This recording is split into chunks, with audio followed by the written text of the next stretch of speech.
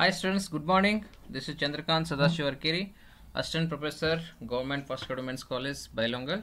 Dear students, already you have seen the two session of costing, elements of costing, theoretical part and uh, how to prepare the cost sheet and what the items are appearing in the cost sheet and uh, which are not appearing in the cost sheet. Some financial charges will not be appeared in the cost sheet. That also seen in our two sessions. So this is the content. So this is our first problem. So hope all are done your notes session 1 and session 2 and you have already uh, note down the cost sheet format also. So on basis on that you are uh, solving some uh, 5 marks questions so as appeared in the RCU uh, then Akamadev University then KUD. So you will see one by one. So this is the first problem. Uh, this problem can be referred by BCom 6th semester students also and BBA 4th semester students also. From the following information, prepare cost sheet for the month of April 2018. Raw material consumed 8500, direct wages 10000, factory expenses 50% on wages, office expenses 20% on factory cost. The quotation should include a profit of 20% on selling price. This is the 5 marks question. So, very easy. Only thing you have to consider, these calculations, you have to do it. That's all. 50% of wages ಏನಿರುತ್ತೆ? Factory expenses ಇರುತ್ತೆ. Twenty percent of office expenses ಎದುರಿರುತ್ತೆ factory cost ಇರುತ್ತೆ. ಇಲ್ಲಿ wages ಕೊಟ್ಟಿದ್ದಾರೆ ten thousand ಅದರ fifty percent ಐದು ಸಾವಿರ factory expenses ಆಗುತ್ತೆ. ಆದರೆ ಫ್ಯಾಕ್ಟ್ರಿ ಕಾಸ್ಟನ್ನು ನಾವು ಕಂಡುಹಿಡಿಯಬೇಕು while preparing will come to know the factory cost cost sheet ಮಾಡುವಾಗ ಗೊತ್ತಾಗುತ್ತೆ. ನಂತರ ಇನ್ನೊಂದು ಅಡ್ಜಸ್ಟ್ಮೆಂಟ್ ಏನಿದೆಯಪ್ಪ ಅಂತಂದರೆ ವೆರಿ ವೆರಿ ಇಂಪಾರ್ಟೆಂಟ್ ಪಾಯಿಂಟ್ ಇಲ್ಲಿ ನೀವು ರಾಂಗ್ ಮಾಡೋ ಚಾನ್ಸಸ್ ಚೆನ್ನಾಗಿ ಮಾಡೋ ಚಾನ್ಸಸ್ ಇರುತ್ತೆ. ಇಲ್ಲಿ ನೀವು ಕೇರ್ಫುಲ್ಲಾಗಿ ಕ್ಯಾಲ್ಕುಲೇಷನ್ಸನ್ನು ಮಾಡಬೇಕು. Okay see twenty percent on selling price okay will see the solution ನಾವು ಓಕೆ ಸೊ ಡೈರೆಕ್ಟ್ ಮಟೀರಿಯಲ್ ನಿಮ್ಮ ಫಾರ್ಮೆಟ್ ಪ್ರಕಾರ cost sheet direct material raw material consumed ಕೊಟ್ಟಿದ್ದಾರೆ ಪ್ರಾಬ್ಲಮಲ್ಲಿ eight thousand five hundred direct wages ಕೊಟ್ಟಿದ್ದಾರೆ ಟೆನ್ ತೌಸಂಡ್ ಸೊ ಇವೆರಡನ್ನೂ add ಮಾಡಿದ್ರಿ. Direct expenses ನೀವು ಬರಿಬೋದು. ಕೊಟ್ಟಿಲ್ಲ ಅಂತೇಳಿ ನಾನು ತೋರಿಸಿಲ್ಲ. You can write direct expenses ಅಲ್ಲೋ and you can make a nil ನಾವು eighteen thousand five hundred eight thousand five hundred plus ten thousand eighteen thousand five hundred when you add the direct material direct wages and direct expenses after adding the three components you will come prime cost. It will come as a prime cost or direct cost. Adding, then to prime cost you have to add the factory overhead factory expenses as i told earlier factory expense is the 50% of direct wages so 50% 10000 50% ಅಂದರೆ 5000 so work cost is 23500 ಈ work ಕಾಸ್ಟಿಗೆ ನಾವು factory cost ಅಂತಾನು ಹೇಳ್ತೀವಿ ನಾನು ಫಾರ್ಮೆಟ್ನಲ್ಲಿ ಬರ್ಸಿದ್ದೀನಿ ನಿಮಗೆ ನೀವು confuse ಆಗಬೇಡ್ರಿ. ಫ್ಯಾಕ್ಟ್ರಿ ಕಾಸ್ಟ್ ಎಲ್ಲಿದೆ? ಫ್ಯಾಕ್ಟ್ರಿ ಕಾಸ್ಟ್ ಎಲ್ಲಿದೆ? ಇಲ್ಲಿ ವರ್ಕ್ ಕಾಸ್ಟ್ ಅಂತ ಬರೆಸಿದ್ದಾರೆ ಅಂತ ಹೇಳಿ. So work cost is also called as a factory cost then factory ಕಾಸ್ಟಿಗೆ ನೀವು add ಮಾಡಬೇಕಾಗಿದ್ದೇನು? Administrative overhead office expenses twenty percent of factory cost or work cost ಅಂತ ಹೇಳಿದ್ದಾರೆ. ಸೊ ಅದಕ್ಕೆ ನಾವೇನು ಮಾಡಿದ್ವಿ? Twenty three thousand five hundred into twenty percent so four thousand seven hundred ಇವೆರಡು add ಮಾಡಿದ್ರಿ. Work cost plus administrative overhead add ಮಾಡಿದ್ರಿ ಅಂತಂದ್ರೆ cost of production ಬರುತ್ತೆ. ಅದು twenty eight thousand two hundred then cost of ಪ್ರೊಡಕ್ಷನ್ಗೆ ನೀವು add selling and distribution overhead ಮಾಡಿದ್ರೆ ಅಂದರೆ selling expenses ಏನು ಕೊಟ್ಟಿಲ್ಲ, ಅದಕ್ಕೆ ನಾವು ಡ್ಯಾಶ್ ಇಟ್ಟಿದ್ದೀವಿ. So cost of production is also called cost of ಪ್ರೊಡಕ್ಷನ್ಗೆ ನೀವು ಸೆಲ್ಲಿಂಗ್ ಎಕ್ಸ್ಪೆನ್ಸಸ್ ಆ್ಯಡ್ ಮಾಡಿದ್ರಿ ಅಂತಂದರೆ ಕಾಸ್ಟ್ ಆಫ್ ಸೇಲ್ಸ್ ಬರುತ್ತೆ ಅಥವಾ ಟೋಟಲ್ ಕಾಸ್ಟ್ ಬರುತ್ತೆ. So total cost is twenty eight thousand two hundred so profit ಏನು ಹೇಳಿದರೆ twenty percent of selling price profit is a twenty percent of sales price ಇಲ್ಲಿ sales price ಕೊಟ್ಟಿಲ್ಲ. ನಾವು ಕಂಡು ಹಿಡಿಬೇಕು ಅದಕ್ಕೆ ನಾವೇನು ಮಾಡಿದ್ದೀವಿ ಅದಕ್ಕಂತೇಳಿ ಒಂದು ಎಡಿಷನಲ್ ಕ್ಯಾಲ್ಕುಲೇಷನ್ಸನ್ನು ನಾವು ಈ ಪ್ರಾಫಿಟನ್ನು ಯಾವ ರೀತಿ ಇಲ್ಲಿ ನಾನು ಮಾಡಿದ್ದೀನಿ ಡೈರೆಕ್ಟ್ಲಿ ಇದು ಎ ಟಿ ಯಾವ ರೀತಿ ಬಂತು ಅನ್ನೋದಕ್ಕೆ ಒಂದು ಎಕ್ಸ್ಪ್ಲೇಷನ್ ಕೊಟ್ಟಿದ್ದೀನಿ. This is very very important ಇದನ್ನು ನೀವು ಚೆನ್ನಾಗಿ ತಿಳ್ಕೊಂಡ್ರಿ ಅಂತಂದ್ರೆ ಈ ಅಡ್ಜಸ್ಟ್ಮೆಂಟು ಮೆನಿ ಪ್ರಾಬ್ಲಮ್ಸಲ್ಲಿ ಬರುತ್ತೆ. ಸಮ್ ಟೈಮ್ಸ್ ಏನು ಮಾಡ್ತಾರೆ twenty percent profit on total cost ಅಂತ ಕೊಡ್ತಾರೆ. Sometimes twenty percent of profit on sales price ಅಂತ ಕೊಡ್ತಾರೆ. ಅದಕ್ಕೆ ನಾನು ನಿಮಗೆ ಕ್ಲಿಯರ್ ಆಗಿ ನಿಮ್ಗೆ ತಿಳಿಯುವ ಹಾಗೆ ಈ ನೆಕ್ಸ್ಟ್ನಲ್ಲಿ ನಾನು ಹೇಳ್ತಾ ಇದ್ದೀನಿ. ಸ್ವಲ್ಪ ಚೆನ್ನಾಗಿ ಇದನ್ನು ಅರ್ಥ ಮಾಡ್ಕೊಳ್ಳಿ. ಓಕೆ ನೋಡಿರಿ how you are the twenty by eighty calculation of profit profit of twenty percent on selling price ಏನು ಹೇಳಿದ್ದಾರೆ? Profit twenty percent on selling price ಅಂತ ಹೇಳಿದ್ದಾರೆ. Okay selling price is not given in the problem selling price ಪ್ರಾಬ್ಲಮ್ನಲ್ಲಿ ಕೊಟ್ಟಿಲ್ಲ. Selling price ಪ್ರಾಬ್ಲಮ್ನಲ್ಲಿ ಕೊಟ್ಟಿಲ್ಲ. ಏನು ಕೊಟ್ಟಿದ್ದಾರೆ ಅಂತ ನಾವು ನೋಡಿಕೊಂಡು ನಂತರ ನಮ್ಮ ಪ್ರಾಬ್ಲಮ್ಸನ್ನು ನಾವು ಸಾಲ್ವ್ ಮಾಡಬೇಕಾಗುತ್ತೆ. ಸೊ ಇಲ್ಲಿ ಒಂದು ಸೇಲ್ಸ್ ಮೈನಸ್ ಟೋಟಲ್ ಕಾಸ್ಟ್ ಮಾಡಿದಿರಿ ಅಂತಂದ್ರೆ ಏನು ಬರುತ್ತೆ? ಪ್ರಾಫಿಟ್ ಬರುತ್ತೆ. This is a common equation sales minus ನಿಮ್ಮ, ನೀವು ಕಾಸ್ಟ್ ಶೀಟ್ನಲ್ಲಿನೂ ನೋಡ್ಬೋದು. ಇಲ್ಲಿ ನೋಡ್ರಿ ಇಲ್ಲಿ. ಇಲ್ಲಿ ಟೋಟಲ್ ಕಾಸ್ಟ್ ಇದೆ. ಸೇಲ್ಸ್ನಲ್ಲಿ ತರ್ಟಿ ಫೈವ್ ತೌಸಂಡ್ ಟು ಫಿಫ್ಟಿನಲ್ಲಿ ನೀವು ಮೈನಸ್ ಕಾಸ್ಟ್ ಮಾಡಿದ್ರಿ ಅಂತಂದ್ರೆ ಪ್ರಾಫಿಟ್ ಬರುತ್ತೆ. ಓಕೆ ಇಲ್ಲಿ ನೋಡ್ರಿ. ಈ ಇಕ್ವೇಷನ್ ಪ್ರಕಾರ sales minus total cost equal to profit ನಂತರ ಈಗ twenty percent on selling price ಅಂತ ಹೇಳಿದ್ದಾರೆ. ನೂರು ರೂಪಾಯಿ ಸೆಲ್ಲಿಂಗ್ ಪ್ರೈಸ್ ಇತ್ತು ಅಂತಂದ್ರೆ ಟ್ವೆಂಟಿ ರುಪೀಸ್ ಪ್ರಾಫಿಟ್ ಇರುತ್ತೆ ಅಂತ ಇದರ ಅರ್ಥ. Okay twenty percent selling price selling price hundred ಇದ್ದಾಗ ಇಪ್ಪತ್ತು ರೂಪಾಯಿ ಪ್ರಾಫಿಟ್ ಇರುತ್ತೆ. ಅದೇ ರೀತಿ ನಾನು ಇಲ್ಲಿ ಮಾಡಿದ್ದೀನಿ. ಹಂಡ್ರೆಡ್ ರುಪೀಸ್ ಸೇಲ್ಸ್ ಇದೆ ಅಂತ ತಿಳ್ಕೊಂಡಿದ್ದೀನಿ. ಟೋಟಲ್ ಕಾಸ್ಟ್ ನಮಗೆ ಗೊತ್ತಿಲ್ಲ. ಅದಕ್ಕೆ ನಾವೇನು ಮಾಡಿದ್ದೀವಿ hundred minus total cost equal to twenty total cost equal to ಮಾಡಿದಿರಿ ಅಂತಂದ್ರೆ hundred minus twenty total cost is eighty total cost is eighty ನಾವು ಟೋಟಲ್ ಕಾಸ್ಟ್ ಎಂಬತ್ತಿತ್ತು ಅಂತಂದ್ರೆ ಪ್ರಾಫಿಟ್ ಎಷ್ಟಿರುತ್ತೆ? ಇಪ್ಪತ್ತು ರೂಪಾಯಿ ಇರುತ್ತೆ. ಎಂಬತ್ತು ರೂಪಾಯಿ ಟೋಟಲ್ ಕಾಸ್ಟ್ ಇತ್ತು ಅಂತಂದ್ರೆ ಇಪ್ಪತ್ತು ರೂಪಾಯಿ ಪ್ರಾಫಿಟ್ ಇರುತ್ತೆ. ಹಾಗಾದ್ರೆ ನಮಗೆ ಟೋಟಲ್ ಕಾಸ್ಟ್ ಇಲ್ಲಿದೆ.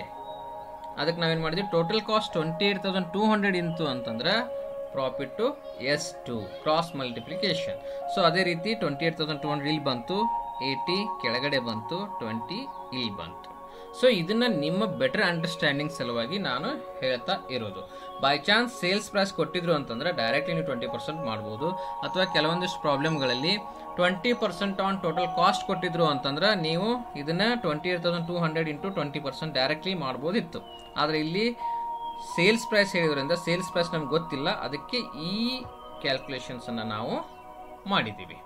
ಸೊ ಇಟ್ಸ್ ವೆರಿ ಸಿಂಪಲ್ ನೀವು ಟ್ವೆಂಟಿ ಪರ್ಸೆಂಟ್ ಸೆಲ್ಲಿಂಗ್ ಪ್ರೈಸ್ ಕೇಳಿದ್ರು, ಅಲ್ಲಿ ಸೆಲ್ಲಿಂಗ್ ಪ್ರೈಸ್ ಕೊಟ್ಟಿರದೆ ಇದ್ರೆ ನೀವು directly twenty divided by eighty ಮಾಡ್ಬೋದು. ಅಥವಾ ಟ್ವೆಂಟಿ ಫೈವ್ ಪರ್ಸೆಂಟ್ ಕೇಳಿದ್ರು ಅಂತಂದ್ರೆ twenty five divided by seventy five ಅಂತಲೂ ಡೈರೆಕ್ಟ್ಲಿನೂ ನೀವು ಇಲ್ಲಿ ಹಚ್ಚಿದ್ದೀನಲ್ಲ, ಈ ರೀತಿನೂ ಮಾಡಬಹುದು. ನಾನು ನಿಮಗೆ ಯಾವ ರೀತಿ ಈ ಟ್ವೆಂಟಿ ಬೈ ಏಯ್ಟಿ ಹೆಂಗೆ ಬಂತು ಅಂತ ನಿಮ್ಗೆ ಕನ್ಫ್ಯೂಸ್ ಆಗಬಾರ್ದು ಅನ್ನೋ ಉದ್ದೇಶಕ್ಕೆ ನಾನು ಇಷ್ಟೆಲ್ಲ ಕ್ಯಾಲ್ಕುಲೇಷನ್ಸ್ನು ಮಾಡಿ ತೋರಿಸಿದ್ದೀನಿ.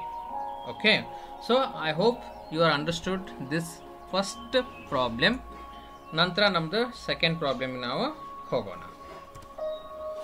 ಓಕೆ ಇದು ಕೆ ಯು ಡಿಯಲ್ಲಿ ಬಂದಂಥ question the following data relate to the manufacturer and sale of ten thousand units of a standard product which is sold at rupees five per unit so ten thousand sales ಆಗಿದೆ ಯೂನಿಟ್ಸ್ದು ಅದು selling cost five rupees per unit ನಂತರ raw ಮಟ್ ಈ ten thousand ಯೂನಿಟ್ಸನ್ನು ready ಮಾಡಲಿಕ್ಕೆ ಏನೇನು ರಾ materials ಏನೇನು ಖರ್ಚಾಗಿದೆ ಅನ್ನೋದನ್ನು ಕೊಟ್ಟಿದ್ದಾರೆ.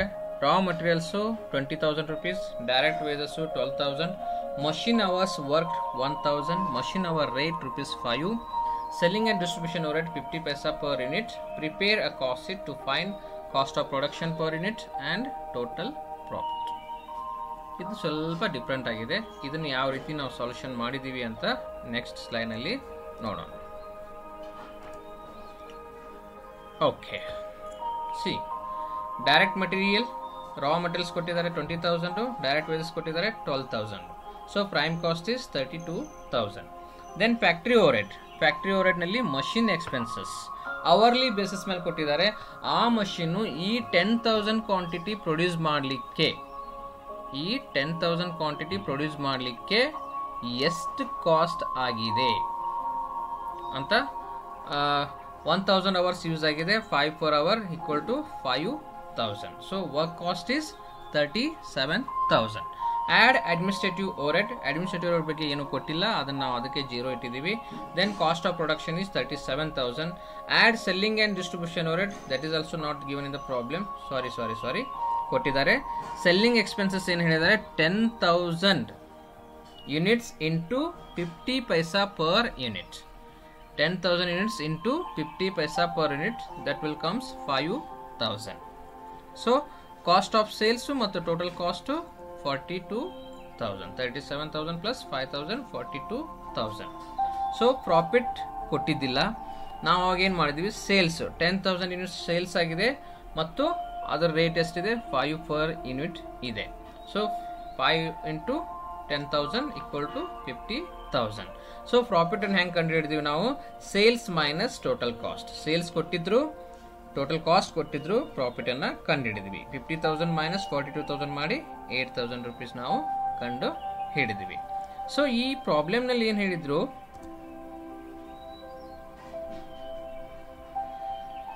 Cost of production per unit ಅನ್ನ ಕಂಡುಹಿಡೀರಿ ಅಂತ ಹೇಳಿದ್ರು ಅವರು. ಸೊ ನಾನು ಅದನ್ನ ಮಾಡಿಲ್ಲ ಅಂತ ಅನಿಸುತ್ತೆ. ಇಲ್ಲಿ ನೀವು ಕಾಸ್ಟ್ ಆಫ್ ಪ್ರೊಡಕ್ಷನ್ನು ಎಷ್ಟಿದೆ?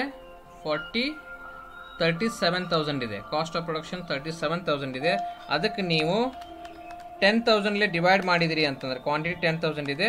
Thirty three rupees seven paisa three point seven paisa ನಿಮ್ಮದು ಕಾಸ್ಟ್ ಆಫ್ ಪ್ರೊಡಕ್ಷನ್ ಬರುತ್ತೆ ಪರ್ ಯೂನಿಟು ಅದನ್ನ calculation of cost of production per unit ಅಂತ ಮಾಡಿದಿರಿ ಅಂತಂದರೆ total cost of production is thirty seven thousand divided by ten thousand unit so three rupees seven twenty paisa is the cost of production total cost of production per unit ಕೇಳಿದ್ರು ಸಹಿತ ನೀವು forty two thousand divided by ten thousand units ಮಾಡಿದ್ರಿ ಅಂತಂದ್ರೆ four rupees twenty paisa ನಿಮ್ಮದು cost of sales ಬರುತ್ತೆ. Okay so this is the problem ನೀವು per unit basis ಮೇಲೂ ನೀವು ಮಾಡ್ಬೋದು. ಇವಕ್ಕೆಲ್ಲಾನು ಟೆನ್ ತೌಸಂಡ್ ಕ್ವಾಂಟಿಟಿ ಡಿವೈಡ್ ಮಾಡಿದ್ರಿ ಅಂತಂದ್ರೆ ಪರ್ ಯೂನಿಟ್ ಬರುತ್ತೆ. ಓಕೆ ನೆಕ್ಸ್ಟ್ ಈ ಕ್ವಶನ್ನು ಅಕ್ಕಮಹದಿ ಯೂನಿವರ್ಸಿಟಿಯಲ್ಲಿ ಎರಡು ಸಾವಿರದ ಹದಿನೆಂಟರಲ್ಲಿ ಬಂದಿದ್ದು. Calculate sales from the following. Raw materials 10,000 cases at rupees 1 per kg, wages 10,000 hours of rupees 4 per hour, factory overhead 30,000, general overhead 30,000, profit is 20% on selling prices. Very very simple problems. Now we will calculate the cost sheet. Okay. Direct material, raw materials 10,000 cases into rupees 1 per kg that is 10,000 rupees direct wages 10000 hours into rupees 4 per hour 40000 rupees so direct cost or prime cost is 50000 so adding these two prime cost will come that is 50000 then factory overhead factory overhead already directly ಕೊಟ್ಟಿದ್ದಾರೆ ಎಷ್ಟು thirty thousand so work cost ಎಷ್ಟಾಯಿತು ಎಂಬತ್ತು ಸಾವಿರ eighty thousand is the work cost then add administrative overhead ಅದರಲ್ಲಿ general overhead ಅಂತ ಕೊಟ್ಟಿದ್ದಾರೆ ಅದು ಮೂವತ್ತು ಸಾವಿರ. So eighty thousand plus thirty thousand ಮಾಡಿದ್ರಿ ಅಂತಂದ್ರೆ ಕಾಸ್ಟ್ ಆಫ್ ಪ್ರೊಡಕ್ಷನ್ ಬರುತ್ತೆ. ಅದು ಹನ್ನೊಂದು, ಒಂದು ಲಕ್ಷ ಹತ್ತು ಸಾವಿರ. ಸೊ ಕಾಸ್ಟ್ ಆಫ್ ಪ್ರೊಡಕ್ಷನ್ಗೆ ನೀವು add selling and distribution overhead selling and distribution overhead problem ಇಲ್ಲಿ ಕೊಟ್ಟಿಲ್ಲ. ಅದಕ್ಕೆ ನಾವು ಜೀರೋ ಅಂತ ಮೆನ್ಷನ್ ಮಾಡಿದ್ದೀವಿ so cost of sales equal or total cost is one lakh ten thousand so ಇಲ್ಲಿನೂ ಏನು ಹೇಳಿದರು?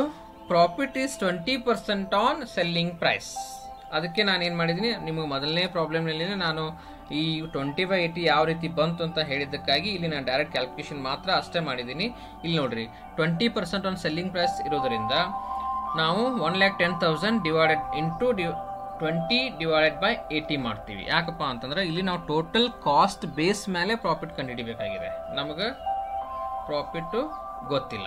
Okay so I am sorry ಇದು ಹಳೆ ಪ್ರಾಬ್ಲಮ್ದು ಕಾಪಿ ಆಗಿದೆ ಅಂತ ಅನಿಸುತ್ತೆ. ಇದನ್ನು ರಿಮೂವ್ ಮಾಡಿ ನೀವು ಪ್ಲೀಸು ಇದು ಹಿಂದಿನ ಪ್ರಾಬ್ಲಮ್ದು ಇದು. ಇದನ್ನು ತೆಗೆದು ಹಾಕಿಬಿಡಿ.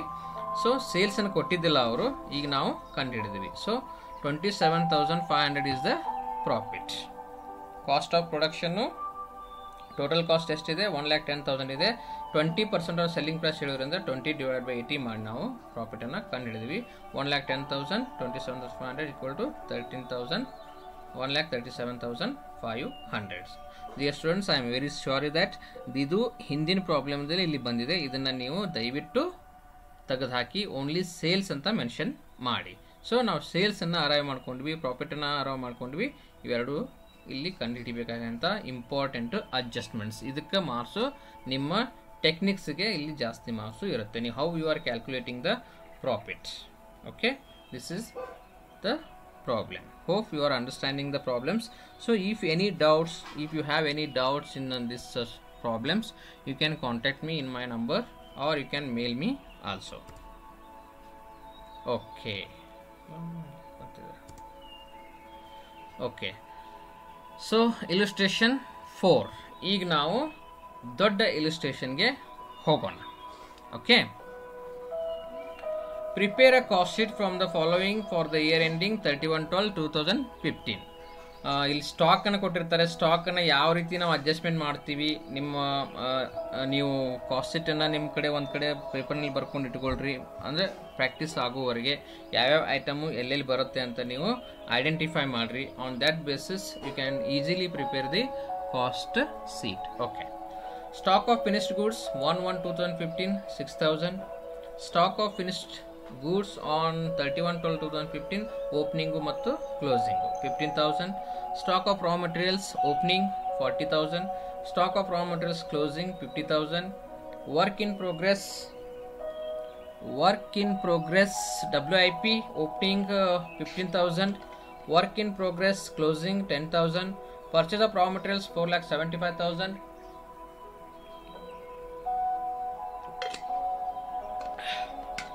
carriage inwards 12500 direct wages 1,75,000 works manager salary 30000 factory employee salary 60000 factory rent and taxes 7250 power expenses 9500 production expenses 43000 general expenses 32500 sales 8,60,000 income tax 5000 dividend 6000 debenture interest 7000 selling expenses 9250 so, this is the simple problem. It may be a 15 marks question question. Dear students, ನಾನು ಎರಡನೇ ಸೆಷನ್ನಲ್ಲಿ ನಾನು explanation ಮಾಡಿದ್ದೆ cost ಬಗ್ಗೆನೂ ನಿಮಗೆ explanation ಕೊಟ್ಟಿದ್ದೆ. ನಂತರ some financial charges non cost ಐಟಮ್ಗಳು cost ಶೀಟ್ನಲ್ಲಿ ಅಪಿಯರ್ ಆಗಲ್ಲ ಅಂತ ನಾನು ಹೇಳಿದ್ದೆ. ಓಕೆ ಅದ ಬೇಸ್ ಇಟ್ಟುಕೊಂಡು ನಾವೀಗ ನಮ್ಮ ಕಾಸ್ಟ್ ರೆಡಿ ಮಾಡ್ತೀವಿ. ಈ ಪ್ರಾಬ್ಲಮ್ನಲ್ಲಿ ಈ ಪ್ರಾಬ್ಲಮ್ನಲ್ಲಿ ಕೆಲವೊಂದಿಷ್ಟು ನಾನ್ ಕಾಸ್ಟ್ ಐಟಮ್ಸ್ ಇದಾವೆ. ಅವುಗಳನ್ನ ಮಾತ್ರ ನಾವು ಕಾಸ್ಟ್ ಶೀಟ್ನಲ್ಲಿ ತೆಗೆದುಕೊಳ್ಳಬಾರದು. ಅವು ಯಾವುವು ಅಂತ ನೀವು ಐಡೆಂಟಿಫೈ ಮಾಡಲೇಬೇಕು. ಓಕೆ ಆ ಐಡೆಂಟಿಫೈ ಮಾಡಿದ ನಂತರ ಅವುಗಳನ್ನ ಕೆಳಗಡೆ ನೋಟ್ ಕಾಸ್ಟ್ ನೋಟ್ ಕೆಳಗಡೆ ನೋಟ್ ಅಂತ ಬರೋದು. These are the non cost item ಅಂತ ನೀವು ಹೇಳಬೇಕು. ಓಕೆ ಇಲ್ಲಿ ನೀವು ಈಚ್ ಎಕ್ಸ್ಪೆನ್ಸಸ್ ಎಲ್ಲೆಲ್ಲಿ ಹೋಗುತ್ತೆ ಅಂತ ನೀವು ಐಡೆಂಟಿಫೈ ಮಾಡಬೇಕು. ಸೊ ಈ ಸ್ಟಾಕನ್ನು ನಾವು ಆಮೇಲೆ ಕನ್ಸಿಡರ್ ಮಾಡೋಣ purchase of raw materials direct material ಅಂತ ಬರೀತೀರಿ. ಅಲ್ಲಿ ಪರ್ಚೇಸ್ ಆಫ್ ರಾ ಮಟೀರಿಯಲ್ಸ್ ಅಂತ ಬರೀತೀರಿ. ಇಲ್ಲಿ ಓಪನಿಂಗ್ ರಾ ಮಟೀರಿಯಲ್ಸ್ ಮತ್ತು ಕ್ಲೋಸಿಂಗ್ ರಾ ಮಟೀರಿಯಲ್ಸ್ ಇದೆ. ಅದನ್ನು ಅಲ್ಲಿ ಅಡ್ಜಸ್ಟ್ಮೆಂಟ್ ಮಾಡ್ತೀವಿ. ಸೊ ಉಳಿದ ಎಕ್ಸ್ಪೆನ್ಸಸ್ ಏನೇನು ಅದಾವ ಅಂತ ಹೇಳಿ ನಾವು ನಮ್ಮ ಸೊಲ್ಯೂಷನಲ್ಲಿ ನೋಡ್ತಾ ಹೋಗೋಣ. Okay so this is the cost it cost it for the period thirty one twelve two thousand fifteen okay direct material ಅಲ್ಲಿ ಏನೇನು ಬರುತ್ತೆ ನೋಡಿ. Opening stock of raw material ಕೊಟ್ಟಿದ್ದಾರೆ. ಎಷ್ಟು? ಫಾರ್ಟಿ ತೌಸಂಡ್ ಕೊಟ್ಟಿದ್ದಾರೆ. ಅದನ್ನು ಫಸ್ಟ್ ನೀವು ಇಲ್ಲಿ ಮೆನ್ಷನ್ ಮಾಡಿದಿರಿ. ನಂತರ add purchase of raw material so ಆ ವರ್ಷ ರಾ ಮಟೀರಿಯಲ್ನ ಪರ್ಚೇಸ್ ಎಷ್ಟು ಮಾಡಿದ್ದಾರೆ? Four lakh seventy five thousand rupees raw ಮಟೀರಿಯಲ್ನ purchase ಮಾಡಿದ್ದಾರೆ. ಸೊ ನಂತರ ಕ್ಯಾರೇಜ್ ಇನ್ವರ್ಡ್ಸ್ ಈ ರಾ ಮಟೀರಿಯಲ್ನ ತರಲಿಕ್ಕೆ ಏನು ಕಾಸ್ಟ್ ಮಾಡಿದಾರಲ್ಲ, ಅದು ಟ್ವೆಲ್ ತೌಸಂಡ್ ಫೈವ್ ಹಂಡ್ರೆಡ್ ಇದೆ. ಅದನ್ನು ನಾವೇನು ಮಾಡಿಬಿಡ್ತೀವಿ? ಡೈರೆಕ್ಟ್ ಮಟೀರಿಯಲ್ ಅಕೌಂಟಿಗೆ ಆ ಕಾಸ್ಟನ್ನು ಬುಕ್ ಮಾಡಿಬಿಡ್ತೀವಿ. ಕ್ಯಾರೇಜ್ ಇನ್ವರ್ಸನ್ನು ರಾ ಮಟೀರಿಯಲ್ಗೆ ಚಾರ್ಜ್ ಮಾಡ್ತೀವಿ. ಅದಕ್ಕೆ ನಾವು ಇದನ್ನು ಡೈರೆಕ್ಟ್ ಮಟೀರಿಯಲ್ನಲ್ಲಿ ಆ್ಯಡ್ ಮಾಡಿ ತೋರಿಸ್ತೀವಿ. Twelve thousand five hundred opening plus purchase of raw material then carriage inwards equal to five lakh twenty seven thousand five hundred so less closing stock of raw material so ಆ ವರ್ಷ opening ಇಷ್ಟಿತ್ತು purchase ಇಷ್ಟು ಮಾಡಿದ್ದೀವಿ ನಂತರ ಒಂದಿಷ್ಟು material ಉಳಿತು. ನಾವು actually cost sheet ಮಾಡುವಾಗ ಕ್ಲೋಸಿಂಗ್ ಸ್ಟಾಕನ್ನು ಮೈನಸ್ ಮಾಡಬೇಕು. ಯಾಕಂದರೆ ಅದು ಅಷ್ಟು ಕ್ವಾಂಟಿಟಿ ಉಳಿದ, ಅದು ಯೂಸ್ ಆಗಿಲ್ಲ. ಸೊ ಐವತ್ತು ಸಾವಿರ ರೂಪಾಯಿ ಮೆಟೀರಿಯಲ್ ಯೂಸ್ ಆಗಿಲ್ಲ. ಅದನ್ನು ಲೆಸ್ ಮಾಡಿದ್ರಿ. ದೆನ್ ಆ್ಯಕ್ಚುಲಿ ಮೆಟೀರಿಯಲ್ ಕನ್ಸ್ಯೂಮ್ ಪ್ರೊಸೆಸ್ನಲ್ಲಿ ಫೈನಲ್ ಪ್ರಾಡಕ್ಟ್ ಮ್ಯಾನುಫ್ಯಾಕ್ಚರ್ ಮಾಡಲಿಕ್ಕೆ ಮೆಟೀರಿಯಲ್ ಕನ್ಸ್ಯೂಮ್ ಆಗಿದ್ದು ಎಷ್ಟು ಅಂತಂದರೆ four lakh seventy seven thousand five hundred ಇದಕ್ಕೆ ನಾವು ಡೈರೆಕ್ಟ್ ವೇಜಸ್ ಅನ್ನ ಆ್ಯಡ್ ಮಾಡಿದ್ರಿ ಅಂತಂದ್ರೆ one lakh seventy five thousand direct wages ಕೊಟ್ಟಿದ್ದಾರೆ. ನಂತರ ಡೈರೆಕ್ಟ್ ಎಕ್ಸ್ಪೆನ್ಸಸ್ ಅನ್ನ ಕೊಟ್ಟಿಲ್ಲ, ಅದಕ್ಕೆ ನಾವು ಡ್ಯಾಶ್ ಹಾಕಿದ್ವಿ. ಇವೆರಡು ಆ್ಯಡ್ ಮಾಡಿದಿರಿ ಅಂತಂದ್ರೆ ನಿಮ್ಮದು direct cost or prime cost ಬರುತ್ತೆ. ಅದು ಎಷ್ಟಿದೆ? Six lakh fifty two thousand five hundred ನಂತರ ಈಗ ಎಲ್ಲ ಎಕ್ಸ್ಪೆನ್ಸಸ್ಸನ್ನು ನೀವು ಬೈಪರ್ಕೇಟ್ ಮಾಡಿ ಫ್ಯಾಕ್ಟ್ರಿ ಓವರ್ಹೆಡ್ಗೆ ಸಂಬಂಧಪಟ್ಟ ಎಕ್ಸ್ಪೆನ್ಸಸ್ ಯಾವ್ಯಾವ ಇದಾವೆ ಅಂತೇಳಿ ನೀವು ಪ್ರಾಬ್ಲಮಿಂದ ಐಡೆಂಟಿಫೈ ಮಾಡಬೇಕು. ಅದನ್ನು ಇಲ್ಲಿ ಎಂಟ್ರಿ ಮಾಡಿದ್ದೀನಿ. ಪ್ರೈಮ್ ಕಾಸ್ಟಿಗೆ ನೀವು add factory overhead works manager salary thirty thousand ಇದೆ. Factory employees salary so these are all related to factory overhead ಫ್ಯಾಕ್ಟ್ರಿಗೆ ಪ್ಲಾಂಟ್ಗೆ ಸಂಬಂಧಪಟ್ಟಂಥ expenses factory employees salary sixty thousand factory rent and taxes seven two five zero power expenses nine thousand five hundred then production expenses forty three thousand so my dear students ಈ power expenses ಅದು office power expenses ಅಂತ ಹೇಳದೇ ಇದ್ದರೆ ಬರೀ only power expenses ಅಂತ ಕೊಟ್ಟಿದ್ರು ಅಂತಂದ್ರೆ, ಅದನ್ನು ನಾವು ಫ್ಯಾಕ್ಟ್ರಿ ಕಾಸ್ಟಿಗೆ ಮಾತ್ರ ತೆಗೆದುಕೊಳ್ಬೇಕು ಬಿಕಾಸ್ ಈ ಪವರ್ ಜಾಸ್ತಿ ಯೂಸ್ ಆಗೋದು ಮ್ಯಾನುಫ್ಯಾಕ್ಚರಿಂಗ್ ಪ್ರೊಸೆಸ್ನಲ್ಲಿ ಬಿಲ್ಡಿಂಗಿಗೆ ಅಡ್ಮಿನಿಸ್ಟ್ರೇಟಿವ್ ಬಿಲ್ಡಿಂಗಿಗೆ ಎಷ್ಟಪ್ಪ ಯೂಸ್ ಆಗುತ್ತೆ? ಸೊ ಪ್ರೊಸೆಸ್ಸಿಗೆ ಏನು ಯೂಸ್ ಆಗುತ್ತಲ್ಲ, ಆ ಎಕ್ಸ್ಪೆನ್ಸಸ್ಸು ಜಾಸ್ತಿ ಇರುತ್ತೆ. ಅವ್ರು ಏನೂ ಸ್ಪೆಷಲಿ ಏನು ಕೊಟ್ಟಿರಲಿಲ್ಲ ಅಂದ್ರೆ ಆಫೀಸ್ ಅವ್ರ ಫ್ಯಾಕ್ಟ್ರಿ ಪವರ್ ಎಕ್ಸ್ಪೆನ್ಸಸ್ ಅಂತ ಕೊಟ್ಟಿದ್ದೇ, ಇದ್ರೆ ಬರೀ ಓನ್ಲಿ ಪವರ್ ಎಕ್ಸ್ಪೆನ್ಸ್ ಅಂತ ಕೊಟ್ಟಿದ್ರು ಅಂತಂದ್ರೆ ಅದನ್ನು ನೀವು ಫ್ಯಾಕ್ಟ್ರಿ ಓವರ್ಹೆಡ್ಗೆ ತಂದು ಆ್ಯಡ್ ಮಾಡಿ okay production expenses forty three thousand so ಇವಷ್ಟು ಕೂಡಿ one lakh forty nine thousand seven fifty so manufacturing cost is eight lakh twenty two thousand fifty then manufacturing ಕಾಸ್ಟ್ಗೆ ನಾವೇನು ಮಾಡಬೇಕು? ಇದು ಪ್ರೊಸೆಸ್ ಆಯಿತು. Work in progress opening work in progress ಇರುತ್ತೆ then closing work in progress ಇರುತ್ತೆ. ಅದನ್ನ ನಾವೇನು ಮಾಡ್ತೀವಿ? Opening work in progress ಅನ್ನ ಆ್ಯಡ್ ಮಾಡ್ತೀವಿ. ಮ್ಯಾನುಫ್ಯಾಕ್ಚರಿಂಗ್ ಕಾಸ್ಟಿಗೆ ನಾವೇನು ಮಾಡ್ತೀವಿ? ಓಪನಿಂಗ್ ವರ್ಕ್ ಇನ್ ಪ್ರೋಗ್ರೆಸ್ ಅನ್ನ ಆ್ಯಡ್ ಮಾಡ್ತೀವಿ. ಅದು ಹದಿನೈದು ಸಾವಿರ ಇದೆ. So total goods process during the period ಇದನ್ನು ಆ್ಯಡ್ ಮಾಡಿ ಇಷ್ಟು ಪ್ರೊಸೆಸ್ ಆಗ್ತಾ ಇತ್ತು. ನಂತರ ಓಪನಿಂಗ್ ಪ್ರೋಗ್ರೆಸ್ ಇತ್ತು. ಅದು ಹದಿನೈದು ಸಾವಿರ ಆ್ಯಡ್ ಆಯಿತು. Then total goods process during the period eight lakh seven thousand two fifty then closing work in progress ಇದೆ, ಅದನ್ನು ನಾವು ಮೈನಸ್ ಮಾಡ್ತೀವಿ. ಅದು ಎಷ್ಟಿದೆ? ಟೆನ್ ತೌಸಂಡ್ ಇದೆ. ಸೊ ಈ ಓಪನಿಂಗ್ ರಾ ಮೆಟೀರಿಯಲ್ನ ಎಲ್ಲಿ ಆ್ಯಡ್ ಮಾಡಬೇಕು ಕ್ಲೋಸಿಂಗನ್ನು ಎಲ್ಲಿ ಮೈನಸ್ ಮಾಡಬೇಕು ಗೊತ್ತಾಗಬೇಕು ನಿಮಗೆ. ಏನು ಭಾಳ ಸಿಂಪಲ್ ಇದೆ. ಡೈರೆಕ್ಟ್ ಮೆಟೀರಿಯಲ್ ಇತ್ತು ಅಂತಂದ್ರೆ ಓಪನಿಂಗ್ ರಾ ಮೆಟೀರಿಯಲ್ನ ಆ್ಯಡ್ ಮಾಡ್ತೀರಿ ಕ್ಲೋಸಿಂಗನ್ನು ಮೈನಸ್ ಮಾಡ್ತೀರಿ. ನಂತರ ಫ್ಯಾಕ್ಟ್ರಿ ಓವರ್ಹೆಡ್ನಲ್ಲಿ ಮ್ಯಾನುಫ್ಯಾಕ್ಚರಿಂಗ್ ಕಾಸ್ಟ್ ಬಂದ ನಂತರ ಓಪನಿಂಗ್ ವರ್ಕ್ ಇನ್ ಪ್ರೋಗ್ರೆಸ್ನ ಆ್ಯಡ್ ಮಾಡ್ತೀರಿ. ದೆನ್ ಕ್ಲೋಸಿಂಗ್ ವರ್ಕ್ ಇನ್ ಪ್ರೋಗ್ರೆಸ್ಸನ್ನು ಲೆಸ್ ಮಾಡ್ತೀರಿ. ಅದು ಮಾಡಿದಿರಿ ಅಂತಂದ್ರೆ ನಿಮ್ಗೆ ವರ್ಕ್ ಕಾಸ್ಟು ಬರುತ್ತೆ.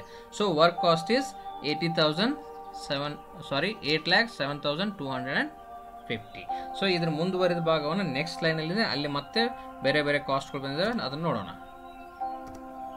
ಓಕೆ ಅಲ್ಲಿ ವರ್ಕ್ ಕಾಸ್ಟನ್ನು ಮತ್ತೆ ತೊಗೊಂಡಿದ್ದೀನಿ ನಾನು ಇಲ್ಲಿ ನಿಮ್ಗೆ ಗೊತ್ತಾಗಲಿ ಅಂತ ಹೇಳಿ. ವರ್ಕ್ ಕಾಸ್ಟಿಗೆ ನೀವು ಅಡ್ಮಿನಿಸ್ಟ್ರೇಟಿವ್ ಓವರ್ಹೆಡ್ನ ಆ್ಯಡ್ ಮಾಡಬೇಕು. ಜನರಲ್ ಎಕ್ಸ್ಪೆನ್ಸಸ್ ಅಂತ ಕೊಟ್ಟಿದ್ದಾರೆ. ಆ ಜನರಲ್ ಎಕ್ಸ್ಪೆನ್ಸಸ್ಸು ಅಡ್ಮಿನಿಸ್ಟ್ರೇಟಿವ್ ಓವರ್ಹೆಡ್ನಲ್ಲಿ ಬರುತ್ತೆ. ಅದು thirty two thousand five hundred so total is eight lakh thirty nine thousand seven fifty add so work cost ಬಂತು, ಅದಕ್ಕೆ ನೀವು ಅಡ್ಮಿನಿಸ್ಟ್ರೇಟಿವ್ ಓವರ್ಹೆಡ್ ಮಾಡಿದ್ರಿ ಅಂತಂದ್ರೆ opening stock of finished goods adjustment work cost plus add administrative overhead ಆ ನಂತರ ಈ ಅಡ್ಜಸ್ಟ್ಮೆಂಟನ್ನು ನಾವು ಮಾಡಬೇಕಾಗುತ್ತೆ. So add opening stock of finished goods six thousand cost of goods available for sale eight lakh forty five thousand seven fifty less closing stock of finished goods ಮಾಡಿದ್ರಿ ಅಂತಂದ್ರೆ you will come cost of good sold cost of goods sold, that is 8 lakh 30750 so, for this, you are adding, add selling and distribution overhead that is selling expenses 9250 ಇದನ್ನು problem ಕೊಟ್ಟಿದ್ದಾರೆ. Nine two five zero cost of sales is eight lakh forty thousand so sales ಕೊಟ್ಟಿದ್ರು eight lakh sixty thousand ಇದನ್ನು ನೀವು eight lakh sixty thousand minus cost of sales ಅಥವಾ total cost ಮಾಡಿದ್ರಿ ಅಂತಂದರೆ balancing figure twenty thousand ಏನಿದೆ ನಿಮ್ಮದು profit ಇದೆ. So this is the simple problem ಇಲ್ಲಿ ಕೆಳಗಡೆ ನೋಟ್ ಬರೆದಿದ್ದೀನಿ ನೋಡ್ರಿ note income tax dividend debenture interest or financial charges these cost sheet these costs are not appear in the uh, these cost sheet i have not shown sorry these costs will not be shown in the cost sheet because these are a financial charges or non-cost item so kindly note these costs are not shown in the cost sheet okay. So this is the fourth problem. Okay illustration 5 the following data relates to ABC Limited.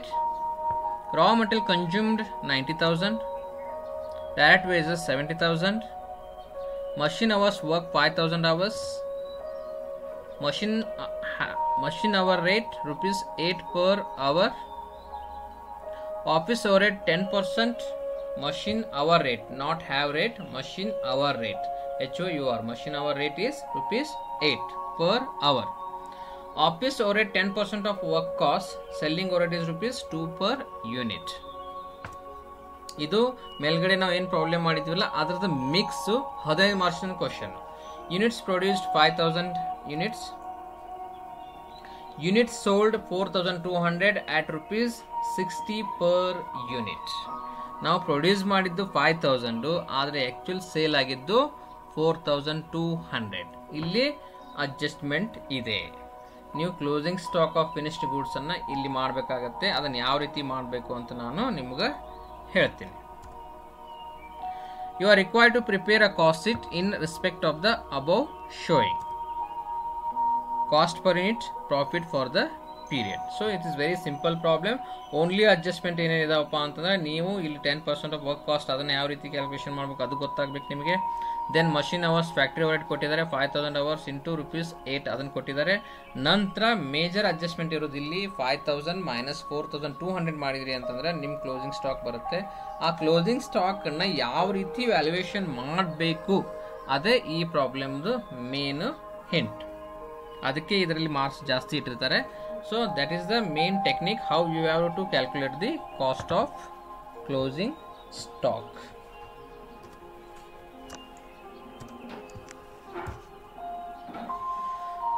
cost it production quantity 5000 units and sold quantity 4200 cost abc limited.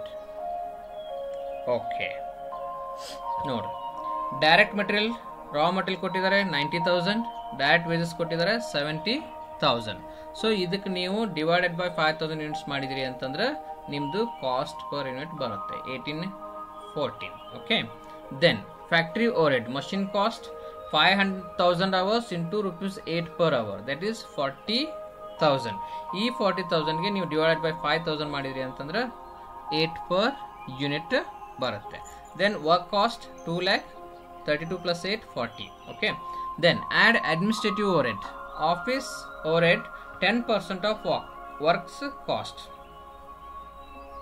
10% of work work cost ಎಷ್ಟಿದೆ ಎರಡು ಲಕ್ಷ ಇದೆ 10% andre 20000 so 10000 20000 divided by 5000 4 per unit okay then uh, adding work cost plus administrative overhead you will come uh, cost of production 2 lakh 20000 40 plus 4 44 thousand less closing stock less closing stock closing stock is 800 into rupees 44 per unit is 35,200 35,200 divided by 5,000 7 rupees per unit barate.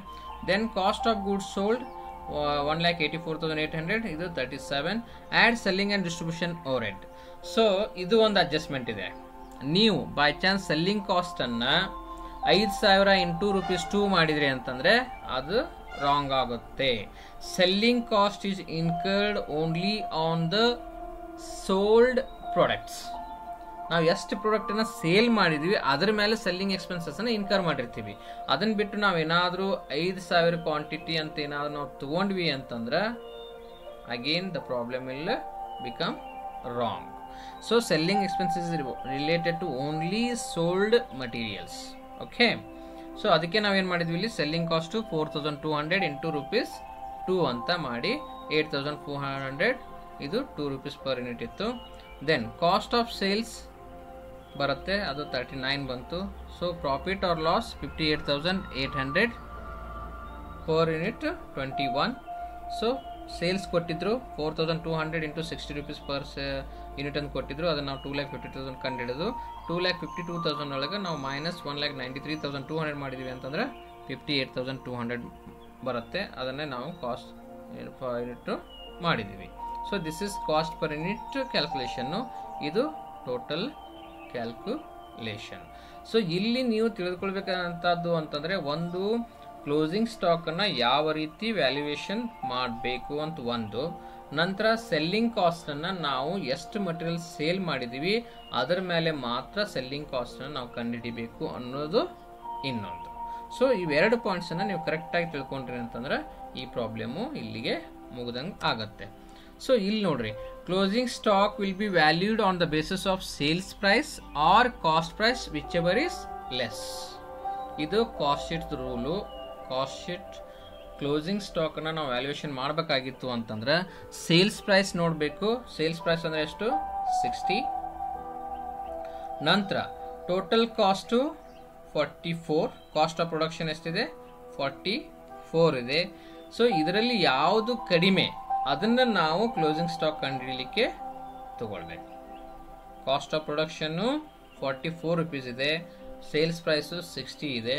ಅದಕ್ಕೆ ನಾವೇನು ಮಾಡಿದ್ವಿ? Whichever is less forty four is the less ಅದಕ್ಕೆ ನಾವು ವ್ಯಾಲ್ಯೂಯೇಷನ್ಗೆ ಇದನ್ನು consider ಮಾಡಿದ್ವಿ. So these are the two major points in this problem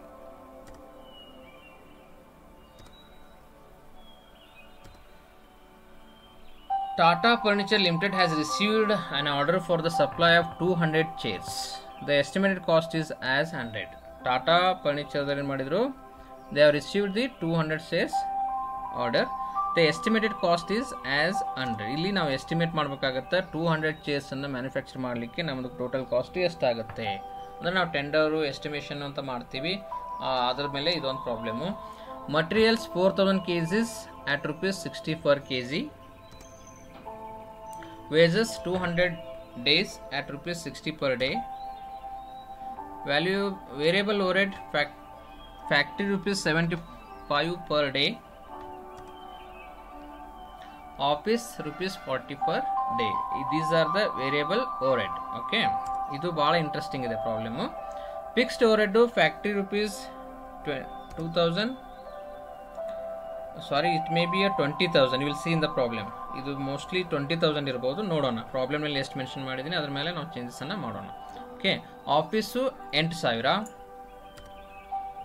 ನಂತರ selling over rupees one thirty per chair prepare a statement of showing total sales and selling price per chair if he expects twenty five percent profit on total cost so ನಾವು ಇದೊಂದಿಷ್ಟು data ಕೊಟ್ಟಿದ್ದಾರೆ. ಈ data base ಮೇಲೆ ನಾವು estimated cost ಶೀಟನ್ನು ready ಮಾಡಬೇಕು. Estimated ಎಷ್ಟು ಆಗ್ತೈತಪ್ಪ ಈ ಟೂ ಹಂಡ್ರೆಡ್ ಚೇರ್ಸ್ ನಾವು ಮ್ಯಾನುಫ್ಯಾಕ್ಚರ್ ಮಾಡಿ ಸೇಲ್ ಮಾಡಬೇಕು ಅಂತಂದ್ರೆ ನಮ್ಮದು ಖರ್ಚು ಎಷ್ಟು ಬರ್ಬೋದು ಅಂತೇಳಿ ನಾವು ಮತ್ತೆ ಸೆಲ್ಲಿಂಗ್ ಪ್ರೈಸನ್ನು ಎಷ್ಟು ಫಿಕ್ಸ್ ಮಾಡಬೇಕು ಅನ್ನೋದನ್ನು ನಾವು ಇಲ್ಲಿ ಎಸ್ಟಿಮೇಟ್ ಮಾಡ್ತೀವಿ. ಸೊ ಇದು ನೋಡೋಣ ಪ್ರಾಬ್ಲಮ್ನಲ್ಲಿ ಇದು ಮೋಸ್ಟ್ಲಿ ನನಗನ್ಸೋ ಮಟ್ಟಿಗೆ ಇದು ಟ್ವೆಂಟಿ ತೌಸಂಡ್ ರುಪೀಸ್ ಇರಬಹುದು. ನೋಡೋಣ, ಇದು ನಾ ಬೈ ಮಿಸ್ಟೇಕ್ ಇನ್ನೊಂದು ಜೀರೋ ಲೆಸ್ ಆಗಿರ್ಬೋದು, ನಾನು ನಿಮ್ಗೆ ಹೇಳ್ತೀನಿ. ಓಕೆ ಹಾಂ ಟ್ವೆಂಟಿ ತೌಸಂಡ್ ಇಲ್ಲಿದೆ ನೋಡಿ. ಟ್ವೆಂಟಿ ತೌಸಂಡ್ ಇದನ್ನು ಕರೆಕ್ಷನ್ ಮಾಡ್ಕೊಳ್ಳಿ. ಇದೇನಿದೆ ಇಲ್ಲ? ಇದು twenty thousand factory cost twenty thousand okay ಇದನ್ನು ನೀವು ಪ್ರಾಬ್ಲಮ್ ಬರ್ಕೊಳ್ತಿರ್ತಿರಲ್ಲ ಆವಾಗ factory fixed over factory rupees twenty thousand ಅಂತ ಅದನ್ನು ಚೇಂಜಸ್ ಮಾಡ್ಕೊಳ್ಳಿ. Okay I am sorry for this mistake okay so ನಾವು ಎಷ್ಟು ಚೇರ್ಸ್ ಮ್ಯಾನುಫ್ಯಾಕ್ಚರ್ ಮಾಡಬೇಕಾಗಿದೆ? ಟೂ ಹಂಡ್ರೆಡ್ ಚೇರ್ಸನ್ನು ಮ್ಯಾನುಫ್ಯಾಕ್ಚರ್ ಮಾಡಬೇಕಾಗಿದೆ. ಈ ಟೂ ಹಂಡ್ರೆಡ್ ಚೇರ್ಸಿಗೆ ಎಷ್ಟು ಕಾಸ್ಟ್ ಆಗುತ್ತೆ ಮತ್ತು ನಮ್ಮದು ಸೇಲ್ಸ್ ಪ್ರೈಸನ್ನು ಎಷ್ಟು ಫಿಕ್ಸ್ ಮಾಡಬೇಕು? Considering twenty five percent of profit on total cost okay ನೋಡಿ. Direct material raw material four hundred K G into rupees sixty per K G twenty four thousand direct wages two hundred days into rupees sixty per day one thousand sorry twelve thousand prime cost thirty six thousand my dear students ಬಹಳಷ್ಟು ವಿದ್ಯಾರ್ಥಿಗಳು ಈ factory ಓವರ್ಹೆಡ್ನಲ್ಲಿ ಫಿಕ್ಸ್ಟು variable ಕೊಟ್ಟಿರ್ತಾರಲ್ಲ, ಅದನ್ನು understand ಮಾಡ್ಕೊಳ್ಳಿಕ್ಕೆ ಸ್ವಲ್ಪ difficulty face ಮಾಡಿದ್ದನ್ನು ನಾನು ವ್ಯಾಲ್ಯೂಯೇಷನ್ಗೆ ಹೋದಲ್ಲಿ ಮತ್ತು ನಾವು ಇಂಟರ್ನಲ್ ಟೆಸ್ಟ್ ತೊಗೊಂಡಲ್ಲಿ ಕಂಡಿದ್ದೀನಿ. ಅದಕ್ಕೆ ನೀವು ಫಿಕ್ಸ್ಡು ವೇರಿಯಬಲ್ಲು ಕೊಟ್ಟಿರ್ತಾರೆ. ಅದು ಫ್ಯಾಕ್ಟ್ರಿ ಸಂಬಂಧಪಟ್ಟಿದ್ದು ಮತ್ತು ಅಡ್ಮಿನಿಸ್ಟ್ರೇಟಿವ್ ಓವರ್ಹೆಡ್ ಸಂಬಂಧಪಟ್ಟ ಹಾಗೆ ನೀವು ಅದನ್ನು ಅಲ್ಲಲ್ಲೇ ಬರಿಬೇಕು. ಕೆಲವೊಂದು ಸ್ಟೂಡೆಂಟ್ಸ್ ಏನು ಮಾಡಿಬಿಡ್ತಾರೆ ಫ್ಯಾಕ್ಟ್ರಿ ನಲ್ಲಿ ಫಿಕ್ಸ್ ವೇರಿಯೇಬಲ್ಲು ಫಿಕ್ಸ್ಡ್ ಒಂದು ಸೈಡ್ ಬರೀತಾರೆ ವೇರಿಯಬಲ್ ಒಂದು ಸೈಡ್ ಬರೀತಾರೆ. ಆ ರೀತಿ ಅಲ್ಲ. ಫ್ಯಾಕ್ಟ್ರಿ ನಲ್ಲಿ ಏನಾಗಿದೆ ಫಿಕ್ಸ್ಡ್ ಕಾಸ್ಟ್ ಇಷ್ಟಂತ ಇದೆ ದೆನ್ ವೇರಿಯಬಲ್ ಕಾಸ್ಟ್ ಅಂತ ಇಷ್ಟು ಇದೆ. ಅದನ್ನು ನಾವು ಸಪ್ರೇಟ್ಲಿ ತೋರಿಸ್ಬೇಕು. ಇಲ್ಲಿ ತೋರಿಸಿದ್ದೀನಿ ನೋಡಿ. ಫಿಕ್ಸ್ಡ್ ಎಷ್ಟಿದೆ? ಫ್ಯಾಕ್ಟ್ರಿ ಓವರ್ಹೆಡ್ಡು ಟ್ವೆಂಟಿ ತೌಸಂಡ್ ಇದೆ. ವೇರಿಯಬಲ್ ಎಷ್ಟಿದೆ ಡೇಸ್ ಮೇಲೆ ಕೊಟ್ಟಿದ್ದಾರೆ, ಅದಕ್ಕೆ ನಾವೇನು ಮಾಡಿದ್ವಿ? ಟೂ ಹಂಡ್ರೆಡ್ ಡೇಸ್ ಕೊಟ್ಟಿದ್ದಾರೆ, ಇದೇ ಡೇಸನ್ನು ಕನ್ಸಿಡರ್ ಮಾಡ್ತೀವಿ ಕ್ಯಾಲ್ಕುಲೇಷನ್ ಮಾಡಲಿಕ್ಕೆ. So two hundred days into seventy five per day ಇದು ಫಿಫ್ಟೀನ್ ತೌಸಂಡ್ ಆಯಿತು. So thirty five thousand is the factory overhead this thirty five thousand includes fixed overhead twenty thousand variable overhead fifteen thousand okay then work cost is seventy one thousand add administrative overhead add administrative ಓರೆಟ್ನಲ್ಲಿ ಏನಿದೆ? Fixed cost separate ಇದೆ. Variable cost separate ಇದೆ. Fixed cost ಎಷ್ಟಿದೆ? ಎಂಟು ಸಾವಿರ ಇದೆ. Variable two hundred days into rupees forty per day ಅದು ಎಂಟು ಸಾವಿರ ಎರಡೂ ಸೇರಿ ಫಿಕ್ಸ್ಡು ಪ್ಲಸ್ಸು ವೇರಿಯಬಲ್ ಸೇರಿ ಎಷ್ಟಾಗಿದೆ? ಸಿಕ್ಸ್ಟೀನ್ ತೌಸಂಡು ಅಡ್ಮಿನಿಸ್ಟ್ರೇಟಿವ್ ಓರೆಡ್ ಆಗಿದೆ. ಸೊ ಈ ಪ್ರಾಬ್ಲಮ್ನಲ್ಲಿ ನೀವು ಕನ್ಸಿಡರ್ ಮಾಡಬೇಕಾಗಿದ್ದು ಇದು. ಇದನ್ನು ಕ್ಯಾಲ್ಕುಲೇಷನ್ ನೀವು ಸರಿಯಾಗಿ ಮಾಡಿದಿರಿ ಅಂತಂದ್ರೆ ನಿಮ್ಮ ಈ ಪ್ರಾಬ್ಲಮ್ನಲ್ಲಿ ನೀವು ಫುಲ್ ಮಾರ್ಕ್ಸ್ ತಗೊಳ್ಳೋ ಚಾನ್ಸಸ್ಸು ಇರುತ್ತೆ. ಜಾಸ್ತಿ ವಿದ್ಯಾರ್ಥಿಗಳು ಇದನ್ನು ಕ್ಯಾಲ್ಕುಲೇಷನ್ ಮಾಡುವಾಗನೇ ಕನ್ಫ್ಯೂಸ್ ಆಗಿದ್ದು. ಓಕೆ ಇಲ್ಲಿ ಫಿಕ್ಸ್ಡ್ ಫ್ಯಾಕ್ಟ್ರಿ ಓವರ್ಹೆಡ್ ಬರಿತೀರಿ, ನಂತರ ವೇರಿಯಬಲ್ ಬರಿತೀರಿ. ಅದೇ ರೀತಿ ಅಡ್ಮಿನಿಸ್ಟ್ರೇಟಿವ್ ಓವರ್ಹೆಡ್ನಲ್ಲಿ ಫಿಕ್ಸ್ ಬರಿತೀರಿ, ನಂತರ ವೇರಿಯಬಲ್ ಬರಿತೀರಿ.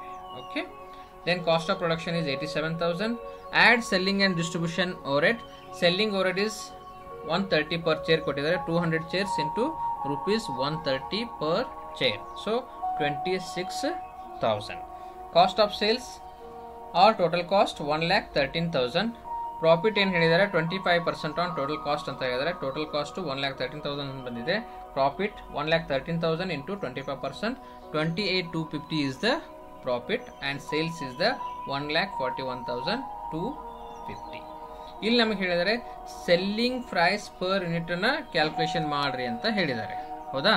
ಅದನ್ನ ಇಲ್ಲಿ ಕ್ಯಾಲ್ಕುಲೇಷನ್ ಮಾಡಿದ್ವಿ. Calculation of selling price per chair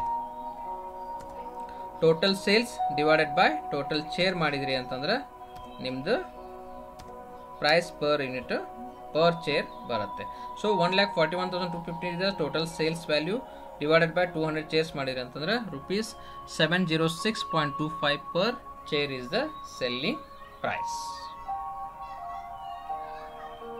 dear students I hope ನೀವೆಲ್ಲರೂ ಇದನ್ನು ಚೆನ್ನಾಗಿ ಅರ್ಥ ಮಾಡ್ಕೊಂಡ್ರಿ ಅಂತ ತಿಳ್ಕೊತೀನಿ.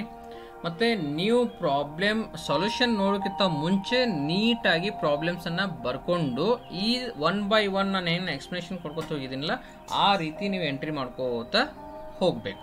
ಕ್ಯಾಲ್ಕುಲೇಷನ್ನ ಅದೇ ರೀತಿ ಮಾಡ್ಕೋತ ಹೋದ್ರಿ ಅಂತಂದ್ರೆ ನಿಮ್ಮ ಕಾಸ್ಟ್ ಶೀಟ್ ರೆಡಿ ಆಗತ್ತೆ. ಅಂದರೆ ಪ್ರೈಮ್ ಕಾಸ್ಟ್ನಲ್ಲಿ ಏನೇನು ಐಟಮ್ ಬರ್ತವೆ?